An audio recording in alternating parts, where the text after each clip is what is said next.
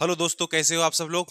आशा करता हूँ आप सभी लोग ठीक होंगे और स्वस्थ होंगे और अपनी पढ़ाई को सुचारू रूप से कर रहे होंगे दोस्तों। तो दोस्तों, हमारी क्लासें लगभग चौदह पंद्रह हो चुकी हैं नंबर सिस्टम की। तीस तीस मिनट की या पैंतीस पैंतीस मिनट की वीडियो बना के डाली हैं, जिससे कि आप आसानी से क्लास को देख सकें। यदि उन क्लासों को ठीक से देखें तो कुल मिला के छह ही क्लास है, जिसमें आपका नंबर सिस्टम निपट गया है दोस्तों। तो बेहतरीन तरीके से मैंने नंबर सिस्टम को लगभग पूरा करा दिया है। आप चाहें पिछली जितनी भी वीडियो हैं दोस्तों, देखें जाके बहुत ही महत्वपूर्ण क्वेश्चन कराए हैं, जो डायरेक्ट एग्ज़ाम में आते हैं दोस्तों। दोस्तों, आपके लिए दो लाइन कहूँगा। कभी कभी होता है, कुछ लोग डिमोटिवेट करते हैं तो उनके लिए, मंजिले लाख कठिन आए गुजर जाऊँगा, मंजिले लाख कठिन आए गुजर जाऊँगा हौसला हार के बैठूँगा तो मर जाऊँगा। हौसला हार के बैठूँगा तो मर जाऊँगा। चल रहे थे जो मेरे साथ, कहाँ हैं वो लोग? जो ये कहते थे कि रस्ते में बिखर जाऊँगा दोस्तों। तो एंड तक बने रहिए दोस्तों। आज का सेशन बहुत ही महत्वपूर्ण होने वाला है दोस्तों। तो आज स्टार्ट करते हैं। कुछ महत्वपूर्ण क्वेश्चन कराएँगे दोस्तों, जो आपके डायरेक्ट एग्ज़ाम में आते हैं। एक दरअसल सीरीज़ होती है एपी एपी सीरीज़ होती है, उस पर कुछ क्वेश्चन बन सकते हैं आपके एग्ज़ाम में। अर्थमेटिक प्रोग्रेशन इसे कहते हैं, इसका फुल फॉर्म हो गया। तो एपी क्या होती है दरअसल? तो दोस्तों एपी एक सीरीज़ ऐसी होती है, जैसे मैंने यहाँ पर लिखा, कोई अंक, दो, फिर चार, फिर छ, फिर आठ, फिर दस, फिर बारह। ऐसे ही चलते चलते दो दो के अंतर में ये बराबर बराबर संख्याएँ दो के अंतर में अंत तक चली जा रही हैं। तो ये एक तरीके की सीरीज़ बन जाती है। तो इस पर इस तरीके से क्वेश्चन पूछे जाते हैं। दिए गए पदों का योग ज्ञात कीजिए। तो पद दे देते बहुत, यानी संख्याओं की संख्या बहुत ज़्यादा होती है। तो कह देते हैं, इनका योग ज्ञात कीजिए। तो आप एग्ज़ाम में कैसे करेंगे? आज वही सीखेंगे दोस्तों। फिर उसके धीरे धीरे आगे बढ़ते हुए अच्छे अच्छे क्वेश्चन करेंगे और जो क्वेश्चन छूट गए थे, उनको भी आज इंक्लूड कर लिया जाएगा दोस्तों। दो, चार छः आठ, दस और बारह। तो दोस्तों, ये होता है आपका पहला पद। ठीक है? और आगे वाले पद से पहला पद। आगे वाले पद से पहले पद को यदि हम घटाएँगे, यदि इसको मान ले ए टू ये ए वन है, ये ए टू है, ये ए थ्री पद है और ये ए फोर पद है। ऐसी करते करते जो भी आपके पद आए हैं तो आपका जो A two minus A one होगा, वो आपका इक्वल टू होगा A three minus A two फिर आगे A four minus A three A four minus A three तो ये पद जो हैं दोस्तों, ये आपस में बराबर होंगे। क्यों बराबर होंगे? क्योंकि इनका जो सार अंतर होता है, यानी आपस में, यानी पास वाले दो पदों का जो अंतर होता है, वो बराबर होता है दोस्तों। कैसे यहाँ से आप देखें, चार से जब दो घटाएँगे, यानी A two minus A one करेंगे तो चार से जब दो घटाएँगे, तब भी दो बचेगा दोस्तों। तब भी दो बचेगा। यहाँ देखेंगे A three minus A two यानी तीसरे पद से दूसरे पद को घटाएँगे, तब भी दो बच रहा होगा आपको। तो तीसरा पद आपका छह है और दूसरा पद चार है। तब भी दोस्तों दो ही बच रहा है। यहाँ पर आप देखेंगे A three A four minus A three यानी चौथा पद आपका आठ है और तीसरा पद आपका छः है। तब भी दोस्तों दो बच रहा होगा। यदि देखा जाए, यदि किसी सीरीज़ को हम एपी कहेंगे, कब कहेंगे? जब उसके क्रमानुसार अगर यदि पद दिए गए हों तो किन्हीं दो पास वाले पदों का योग पदों का अंतर और उससे बाद वाले पदों का अंतर, यानी कुल मिला के क्रमानुसार जो अंतर है वो बराबर होना चाहिए। यानी A two minus A one है तो ये बराबर होगा A three minus A two के। यानी A four minus A three है तो बराबर होगा A five minus A four के तो कुल मिला के जो अंतर है, यानी डिफरेंस है, हमेशा बराबर होगा पदों का। पदों का अंतर हमेशा बराबर होगा। इससे ये कह सकते हैं कि ये एपी होगी एक। तो इस पर आ जाता है योग। कह देते हैं, इतने पदों का योग ज्ञात कीजिए।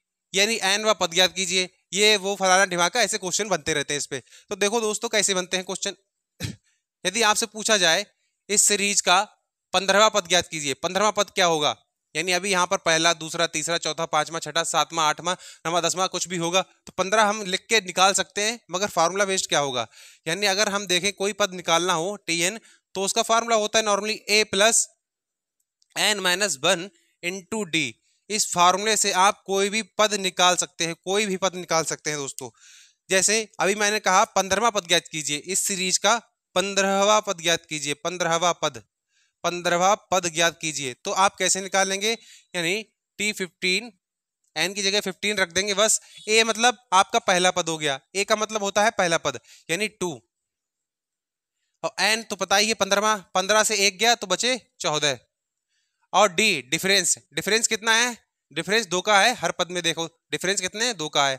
तो यहाँ से हम निकालेंगे टू प्लस और यहाँ पर डिफरेंस कितना दो का है? चौदह दूनी कितने हो गए? अट्ठाईस हो गए। अट्ठाईस दो कितने हो गए दोस्तों? तीस हो गए। यानी हम कह सकते हैं इस सीरीज़ का पंद्रहवा पद कितना होगा? तीस होगा। एक क्वेश्चन और करते हैं, चलो। आप निकालिए, सोलहवा पद निकालिए, ठीक है? सोलहवा पद। वैसे तो हमें पता है बत्तीस होगा तो हम फॉर्मूले को चेक कर लेते हैं। तो एन की जगह सोलह रख देंगे। तो ए की जगह कितना आ जाएगा? हमारा पहला पद होता है ए तो ए का मतलब हो गया पहला पद तो ए का पहला मतलब कितना हो गया? दो। एन का मतलब कितना होगा? सोलह सोलह में से एक गया तो बचेगे पंद्रह है। सोलह में से एक गया पंद्रह डिफरेंस कितने का है? दो का है। तो पंद्रह दूनी तीस और दो बत्तीस, यानी हम बिल्कुल ठीक जा रहे हैं, हमारा फार्मूला सही काम कर रहा है। यहाँ तक बात हो गई कि अब पद कैसे ज्ञात करेंगे तो पद ऐसे ज्ञात कर लेंगे। पद ऐसे ज्ञात कर लेंगे, कोई भी पद अगर सीरीज़ का गायब है, यानी इसका हम हजारवा भी पद ज्ञात करें, तब भी हम कर लेंगे इस फॉर्मूले से। इसमें लगा के टी एन एन मतलब जो पद ज्ञात करना हो इसकल टू ए हो गया आपका पहला पद पहला पद आपका दो है, और एन माइनस बन करके यानी एन यानी पंद्रह से एक गया तो बचा यहाँ पर देखो चौदह बचा तो एन से एक कर देते हैं माइनस फिर डी मतलब डिफरेंस हो जाता है। तो यहाँ से हमने पद ज्ञात कर लिए। फिर पद जब ज्ञात कर लेंगे तो आधा क्वेश्चन की सम कीजिए। दिए गए पदों का सम कीजिए। तो यहाँ से निकल कर आता है एस एन सम। सम का फार्मूला निकल कर आता है फार्मूला हो जाता है आपका दो तरीके का होता है। एक तो होता है N by two A plus N minus one, two A plus N minus one D हो गया। फिर इसी को लिखें तो एन माइनस टू इसी को लिखें। इसको ऐसे लिख सकते हैं। A plus A A plus A plus N minus one into D लिख सकते हैं। ठीक है? तो ये आपका हो गया अंतिम पद। ठीक है? इसे हम लिख सकते हैं एल तो यहाँ से एक और फार्मूला बन गया। N minus two, A plus L. और ये आपका हो गया सम। सम का फार्मूला हो गया। तो इस फार्मूले के इस फार्मूले के इर्द गिर्द आपका चैप्टर यानी अभी कुल मिला के जितने अभी आपके क्वेश्चन कराऊँगा, इस फार्मूले के वेस्ट होंगे दोस्तों। तो इस फार्मूले को पहुँचने तक मैंने आपको इतना समझा दिया अब इस फार्मूले का यूज़ देख लेते हैं, कैसे करेंगे। ठीक है? तो मैं यदि यहाँ पर एक क्वेश्चन लूँ। दो, चार छः आठ, दस, बारह, मान लिया, छह अंकों की, ना, छह संख्याओं की एक सीरीज़ है। एपी है, कौन सी है? एपी सीरीज़ है। तो उसका सम ज्ञात कीजिए, उसका योग ज्ञात कीजिए। योग के लिए आप क्या करेंगे? हमें यहाँ पर पता है अंतिम अंतिम पद एल हो गया और प्रथम पद यदि यहाँ पर ए हो गया, ठीक है? और संख्या कितनी है? एक, दो, तीन, चार, पाँच छः छः पद है कुल। तो यहाँ पर हम फार्मूला लगाएँगे। क्या होता है? फार्मूला क्या होता है दोस्तों? फार्मूला आपका होता है एन वाई टू सबसे पहले एन वाई टू तो एन कितना हो गया आपका? छः हो गया। कुल छः पद है बाई टू तो ए कितना हो गया आपका? तो ए हमने देखा दो हो गया। और एल कितना है? ए हो गया दो और एल कितना है? बारह। अंतिम पद एल होता है अंतिम पद। तो यहाँ पर निकाला, दो तिया छः हो गए यहाँ पर और तीन गुणा यहाँ पर कितने हो गए? चौदह। और चौदह तिया कितने होते हैं? बयालीस। इस तरीके से आपका बयालीस योग आ गया।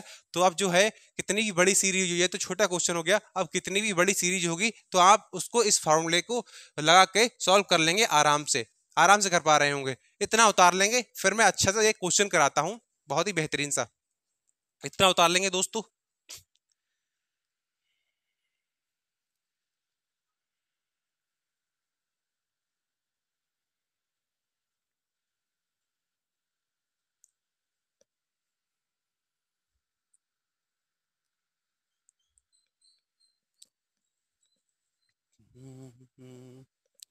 इतना उतार लेंगे दोस्तों, आगे बढ़ते हैं, बेहतरीन से क्वेश्चन करते हैं कुछ।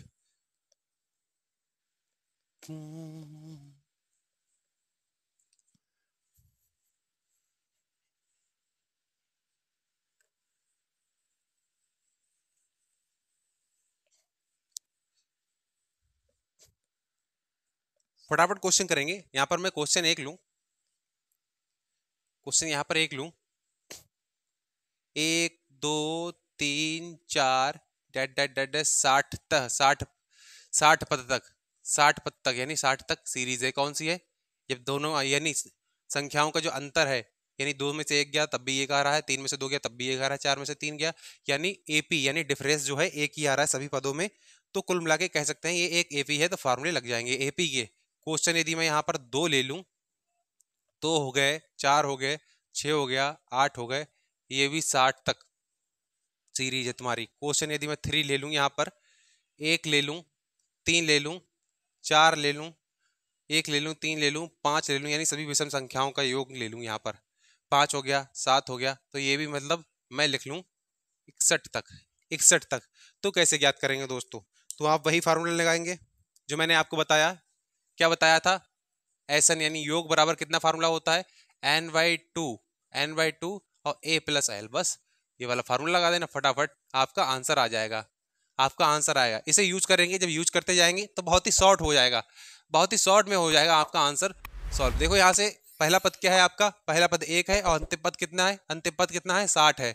और ए प्लस एल अंतिम पद साठ है और एन यहाँ पर कितना है? यानी एन होगी आपकी पदों की संख्या। पदों की संख्या। पदों की संख्या। तो एन होगी यहाँ पर पदों की संख्या तो एन कैसे ज्ञात करेंगे? अब कभी कभी होता है पदों की संख्या नहीं निकाल मिलते। यहाँ पर तो आप कह देंगे एक, दो, तीन, चार, साठ तक गिनती जा रही है। यहाँ पर भी आप जहाँ तक निकाल लेंगे, नहीं क्वेश्चन कुछ ज़्यादा अंतर के हो जाते हैं तो पदों की संख्या निकाल नहीं मिलती है।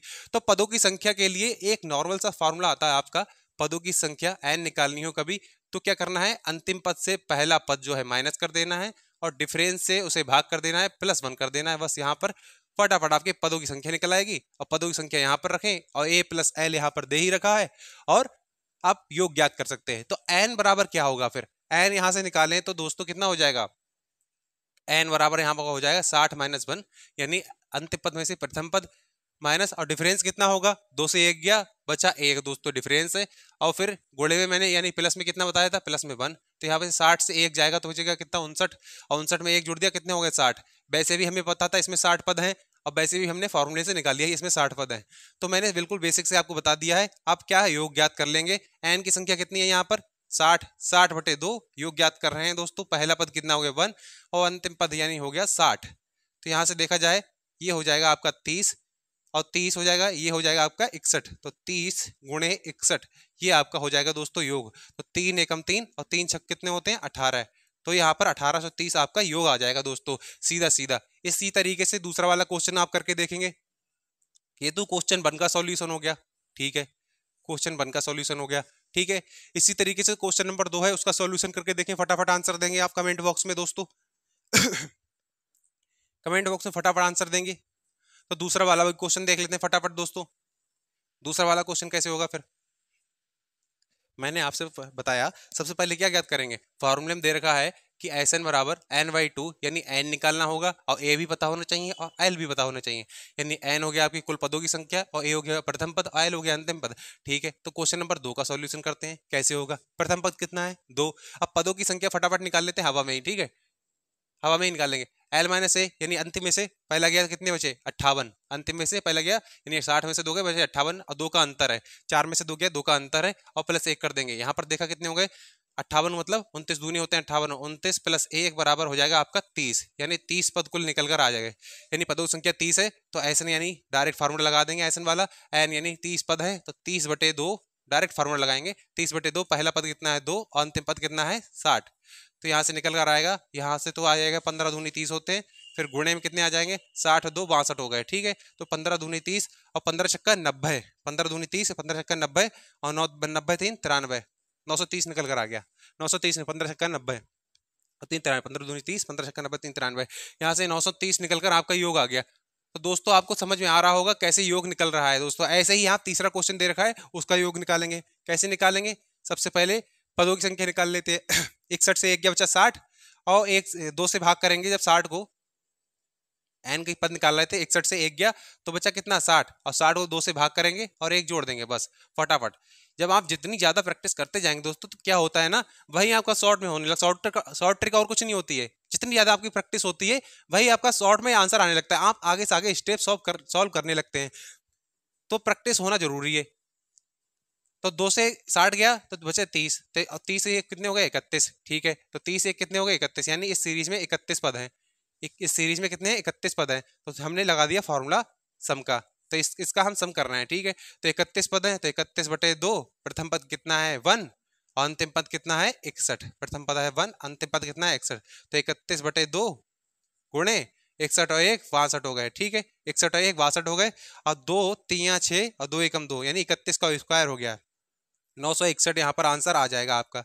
नौ सौ इकसठ आंसर आ जाएगा दोस्तों। तो दोस्तों, फटाफट उतार लीजिए और समझिए कैसे क्वेश्चन सॉल्व हो रहे हैं। ये क्वेश्चन थ्री का आंसर हो गया। ठीक है? ये क्वेश्चन थ्री का सॉल्यूशन हो गया इतना। क्वेश्चन दो का और क्वेश्चन वन का करवाया। फटाफट आप हैं दोस्तों।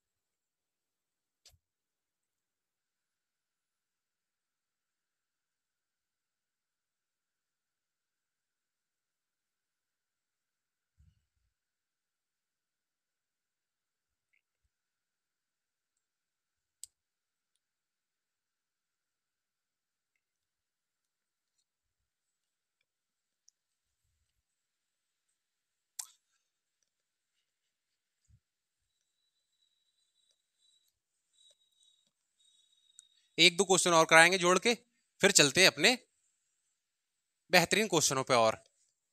और प्रैक्टिस करवा देते हैं। और आ जाए आपके एग्ज़ाम में।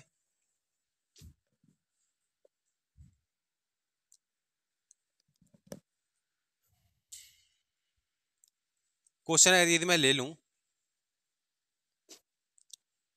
छ के प्रथम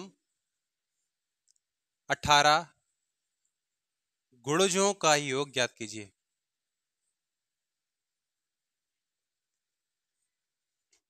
गुणज मतलब मल्टीपल योग ज्ञात करें। ठीक है भैया। तो क्या है? वही लगा देंगे। फार्मूला जो बताएँ आपको। ठीक है? तो छह के प्रथम अठारह गुणज क्या होंगे? यानी पहले देखी जाए तो सीरीज़ क्या बन जाएगी? पहले सीरीज़ बनाते हैं ऐसे छह कम छह छह दूनी बारह, छह तिया अठारह ऐसे करते करते प्रथम अठारह गुणज कितने हो जाएँगे? तो अठारह चक्का कितने होते हैं दोस्तों? अठारह चक्का कितने होते हैं? एक से आठ होते हैं। अठारह पंजे नब्बे, अठारह चक्का एक से आठ। तो कुल मिला के एक से आठ ये हो गया आपका अंतिम पद।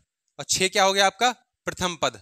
अंतिम पद, प्रथम पद जब पता चल गया तो पदों की संख्या निकालेंगे फटाफट। पदों की संख्या कितनी है? तो 108 से 108 से जब आपका छह जाएगा, और भाग कितनी से देंगे? इसके अंतर से। सार्वांतर इसका कितना डिफरेंस का? बारह से छह गया। बच्चे छह। और प्लस एक कर देंगे, बस पदों की संख्या निकल आएगी दोस्तों। तो कितनी होगी यहाँ से संख्या? फटाफट ज्ञात कर लेंगे। कई तरीके होते हैं दोस्तों क्वेश्चन सॉल्व करके। और तरीका भी बताऊँगा। 108 आठ माइनस छः तो 102 बचे, और 6 प्लस वन छः कम छः बचे चार यहाँ पर, और चार तो बयालीस हुई छः तो बयालीस, और प्लस एक। यानी सड़सठ और एक कितने हो गए? अड़सठ। क्या इतने ही पद है इसमें? कहीं पे मिस्टेक होगी क्या? अरे, पदों की तो संख्या दी है यार। पदों की संख्या क्यों निकालना है? देखो, पदों की संख्या कितनी है? अठारह। अठारह जब गुड़ा जाए तो दोस्तों पदों की संख्या निकालने की आवश्यकता है? तो एन के बराबर कितना हो जाएगा? एन बराबर हो जाएगा अठारह, ठीक है? एन बराबर कितना हो जाएगा? अठारह। जब एन बराबर अठारह हो जाएगा तो फार्मूला लगा दे रहे डायरेक्ट एस एन बराबर, प्रथम पद, अंतिम पद का योग, और एन बाई टू यानी अठारह बटे दो, और प्रथम पद कितना है? आपका छः और एक सौ आठ हो गया ये। एक सौ आठ हो गया। एक सौ आठ छः कितने हो गए आपके? एक सौ चौदह, और अठारह बटे दो। अब दो से इसको भाग करें दोनों में अठारह और एक सौ चौदह की नौ से गुणा करवा लेंगे दोस्तों आप। तो इस तरीके से आपके क्वेश्चन सॉल्व हो रहे हैं जैसे ही आपकी सम का फार्मूला मतलब सम करने को आ जाए और सीरीज़ कैसी हो एपी हो तो फटाफट आप इस तरीके से फार्मूला लगा के सॉल्व कर रहे होंगे। यदि कभी भी आपको दिखे, पद जो है क्रमानुसार हो, पद कैसे हो, क्रमानुसार हो तो इसका एक तरीका क्या है दोस्तों? जैसे क्रमानुसार कैसे एक हो गया, दो, एक का ही अंतर हो, एक, दो हो गया, तीन हो गया, ऐसी करते बीस तक, ये क्या है? क्रमानुसार संख्या है। तो क्रमानुसार संख्या का योग डायरेक्ट क्या हो जाता है? तो इनका योग बहुत ही ईजी होता है दोस्तों।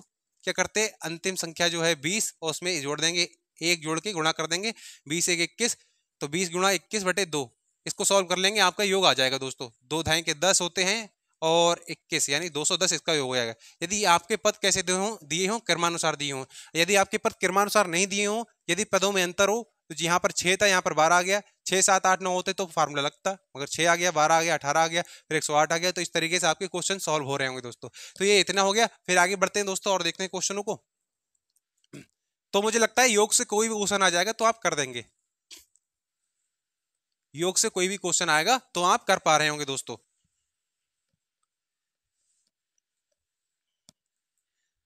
अब और बेहतरीन क्वेश्चन देखते हैं दोस्तों।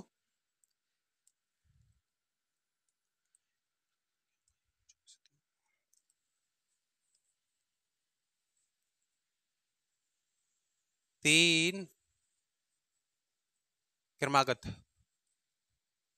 तीन क्रमागत सम संख्याओं का योग।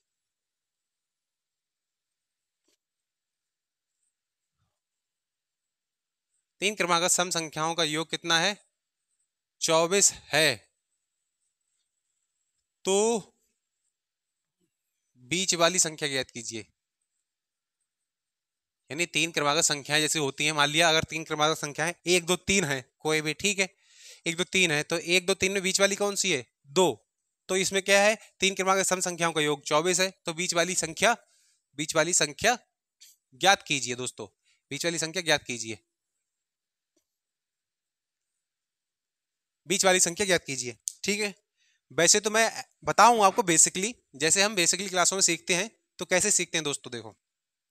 तीन क्रमागत संख्या की बात हो रही तो मान लिया एक एक्स है तो ज़ाहिर सी बात, उसके बाद ही होगी बिल्कुल दूसरी संख्या उसकी तो एक्स प्लस वन हो जाएगा, फिर उसके भी बाद होगी तो एक्स प्लस टू हो जाएगा, यानी एक एक के अंतर से होंगी, जब तीन क्रमागत संख्याएँ होंगी, ठीक है? उनका योग बताया कि उनका योग कितना है? चौबीस है तो इनका योग हमने कर लिया X plus one plus X plus two equal to कितने हो गए? चौबीस, ये योग कर लिया हमने एक्स कितने हो गए? एक, दो, तीन तीन एक्स हो जाते हैं, और एक और दो, तीन ये हो गए, और चौबीस, ये बन गई आपकी समीकरण तो थ्री एक्स बराबर तीन उधर गए तो चौबीस से क्या बचा? चौबीस से तीन गया तो बचे दोस्तों इक्कीस। तो एक्स की वैल्यू यहाँ पर कितने होते तीन सत्ते इक्कीस। यानी एक्स की वैल्यू जब सात आ गई तो एक संख्या कितनी होगी? सात। और दूसरी संख्या कितनी होगी? सात, एक और आठ। और तीसरी संख्या कितनी होगी? सात और दो, नौ। यानी सात, आठ और नौ, तीन ऐसी संख्या है जिनका योग कितना है?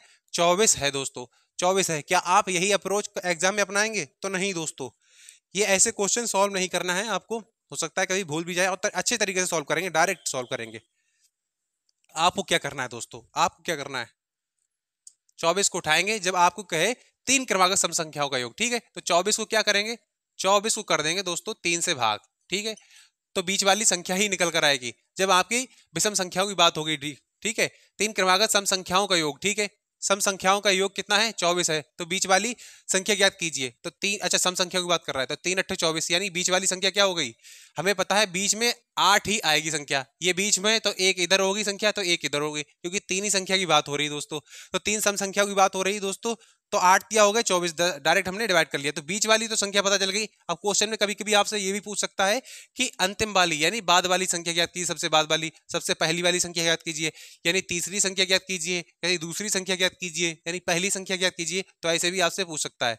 जब आप डायरेक्ट देखेंगे, जितनी संख्याएँ पूछी होंगी, तीन क्रमागत सम संख्याओं का योग दिया है तो डायरेक्ट तीन संख्या जो दी हैं, उनसे चौबीस को हमने डिवाइड कर दिया तो आ गया आठ। ये आ गई बीच वाली संख्या। तो ज़ाहिर सी बात है, आठ के बाद वाली संख्या क्या होगी? जब सम संख्या की बात होगी नौ क्या होगी विषम संख्या हो गई। दस ही होगी फिर। यहाँ पर सात क्या होगी? विषम संख्या होगी। यानी छह ही होगी फिर। तो छह, आठ और दस, ये तीन क्रमागत संख्याएँ जिनका योग कितना है? चौबीस है दोस्तों। तो इस तरीके से आप निकालेंगे। और क्वेश्चन देखते दोस्तों।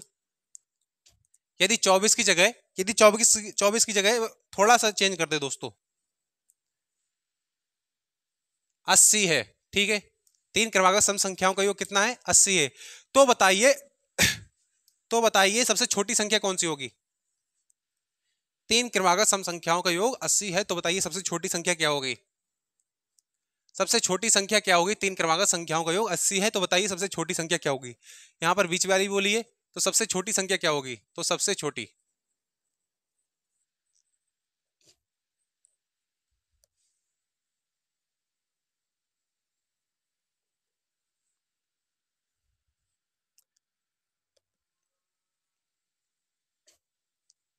अब बनाए क्वेश्चन बेहतरीन तरीके से। पाँच क्रमागत सम संख्याओं का योग 80 है तो सबसे छोटी संख्या ज्ञात कीजिए। तो आपकी अप्रोच क्या होगी दोस्तों सॉल्व करने की? पाँच क्रमागत सम संख्या को निकालना है तो ज़ाहिर बात सबसे पहले बीच वाली संख्या निकालेंगे तो 80 को दे देंगे पाँच से भाग, क्योंकि पाँच क्रमागत संख्या की बात हो रही तो पाँच से भाग दे देंगे। तो निकल कर आ जाएगी सबसे बीच वाली संख्या, कितनी आई? सोलह निकल कर आई, क्योंकि सोलह पंजे होते हैं अस्सी। अब जब पाँच क्रमागत सम संख्या की बात हो रही है तो एक इधर दो इधर भी संख्या होगी। यदि ये, ये बीच में है यदि कुल मिला के ये पाँच संख्याएँ होंगी तो ये बीच में होगी फिर एक इधर संख्या होगी फिर एक इधर होगी फिर एक इधर होगी फिर एक इधर होगी तो यहाँ पर भी एक होगी यहाँ पर भी। अब सभी सम संख्याएँ तो ज़ाहिर सी बात दो के अंतर से ही होंगी। तो सोलह दो सोलह के बाद सम संख्या क्या आती है? अठारह। फिर अठारह के बाद क्या आएगी?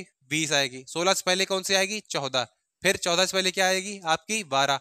तो ये आपकी पाँच क्रमागत सम संख्या है जिनका योग कितना है? अस्सी है। तो दोस्तों आपसे पूछा है सबसे छोटी संख्या ज्ञात कीजिए। तो आपको इनमें नहीं पता कौन सी सबसे छोटी संख्या होगी। तो यहाँ पर आपका कितना आंसर हो जाएगा? आंसर आपका हो जाएगा दोस्तों बारह। आंसर आपका कितना हो जाएगा दोस्तों?